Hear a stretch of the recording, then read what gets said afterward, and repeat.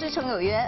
过去几集的《晴天黑白屋》，我们在节目当中介绍了许许多多在全岛各地的不同黑白屋。那这些房子主要都是建于英殖民时期，每一栋可以说是都记载着我国的历史发展。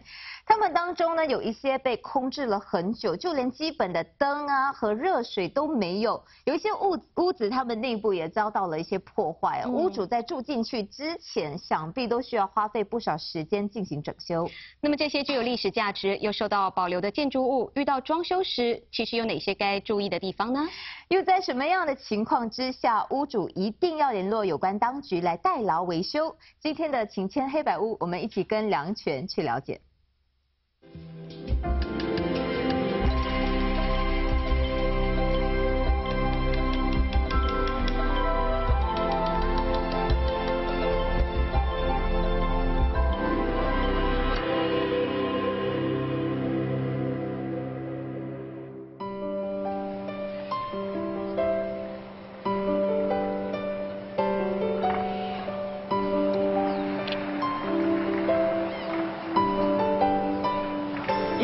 三年二月二十五号，因为海上一场掠夺行动，引发了荷兰和葡萄牙之间的海上之战。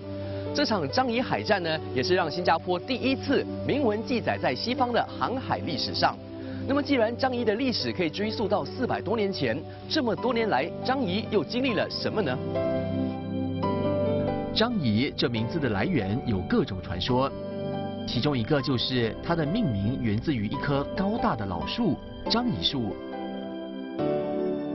开发前，张仪地区被棕榈树环抱，是落后的农业地区，常常有老虎出没。新加坡华人最先开始在这里进行农业耕作，逐渐发展了畜牧业、蔬菜种植业和渔业。在19世纪，张仪因为椰子和硕鹅树种植园而闻名。到了1920年左右。英国政府决定将张仪发展成为他们在新加坡的一个重要防御堡垒。一直到了一九四一年前后，大概花了十五年的时间，终于把原本是一片沼泽树林的张仪转变成了一个自给自足的英军基地。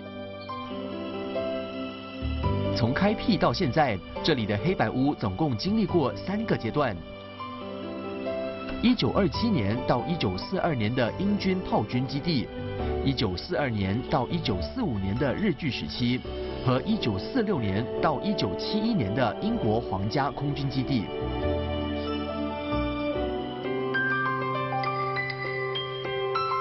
庄宇，今天这间黑白屋有什么特别的地方？这个呃黑白屋它的那个 front porch，它的设计有点不同。嗯，你看它旁边那个墙有一点斜。嗯哼。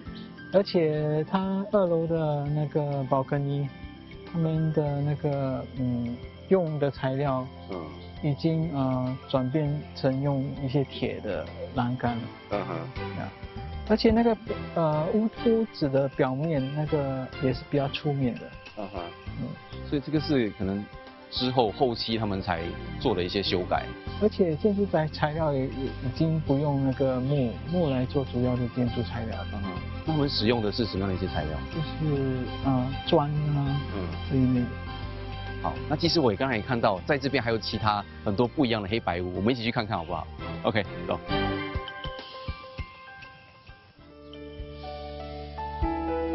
你看一下这间黑白屋，它的设计就有点不同。嗯。它只是一层楼，啊，你看那第二层，啊，现在是玻璃，嗯，好像天窗的样子这样，可是以前都是，也许都是用嗯，可是现在改成玻璃是因为你必要装冷气的关系。这间黑白屋，我发现刚才你所说的，就是它的那个屋顶的形状是不一样的，对不对？对。其实这这间黑白屋，它开始用瓷砖，它放的位置都有一点不同，位置有点不一样。哦，像第一层楼都也有，下面那个那个墙壁底下都有一些路波，通风作用的路波。OK。那在二楼那边本来是有个阳台的。对，可是现在因为呃室内他想扩大，就把它盖起来。变成一间小房间，OK，就扩大它里面的空间。OK。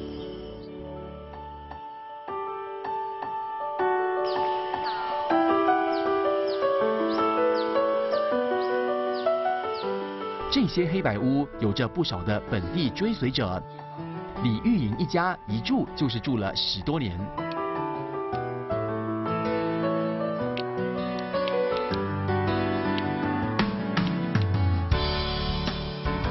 Carrie，为什么当初会选择住在张仪这里的黑白屋？起初是因为我们通常都来张仪去那个 Hawker Center 去吃东西，然后就只会经过这里，看到这里有黑白屋，所以就想呃要搬来这里住啊，因为我们喜欢这里的环境，啊又靠近自然，靠近海边，所以就选择搬来这里住啊。那你觉得黑白屋最吸引你的地方是什么？最吸引我的地方就是它很简单，然后地方又大。所以你们住在这边多久了？我们住在这边已经超过十年了。那你一开始接手这间黑白屋的时候，在装修方面碰到什么困难？哦，我们碰碰到的困难很多，因为这里是整边都是空的一间房子，没有灯，我们要自己装灯，要自己装冷气。然后我还记得第一天我们搬进来的时候要去洗澡，就是发现哎没有热水，要自己装那个热水器，对。很多次都要自己做，嗯，都要亲力亲为啊。那我发现你们其实屋外的这些树木都是你们自己种植的吗？对啊，我们住在这里才发觉，哎，需要一些花草啊、树啊这些。因为外面的这棵树我们已经种差不多八年前，到当时因为我觉得很热嘛，晚呃，尤其是下午的时候很晒，所以我就觉得，哎，不如种一棵树吧。那如果说你们碰到维修方面的问题，比如说呃房子的屋顶漏水啊什么的，你们是要自己去找人来维修吗？还是可以联络一些有关当局来呃帮忙解决呢？呃，如果需要维修的话呢，好像比较大的一些呃东西都是可以通知那个有关当局的，因为好像有一次我们的屋顶就呃 collapse 啊。所以我们要跟通知他们，他们就会很快的来帮我们装修好。啊，然后最近呢，好像我的厨房的门有问题，不能关好，也是跟他们讲，然后他们就会来装修。那这些黑白屋其实算是你租来的嘛，所以你花了这么多的心思去装修啊什么的，那之后如果要归还给当局的话，你会觉得可惜吗？呃，会有点觉得可惜啊。可是我们住这里的时候，没有想到很快就要归还给那个呃政府嘛。我们有打算住长久，所以就觉得还值还是值得的。这里曾经被发展为英国的防御堡垒，而这里的黑白屋呢，也都是为英国军事而建的。但是现在的张仪呢，已经变成了大家心目中周末休闲以及接近大自然的好去处。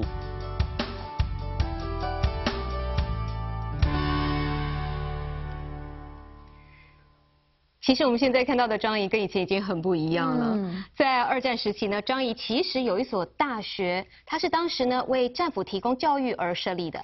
据了解，张仪大学开办没多久就被日军强行关闭了。当时的张仪大学究竟坐落在哪一栋黑白屋呢？答案就在这一集的网络独家视频。欢迎你浏览八世界资讯娱乐网以及师承实事的面部，观看更多的精彩视频。师承有约，我们明天见，再会。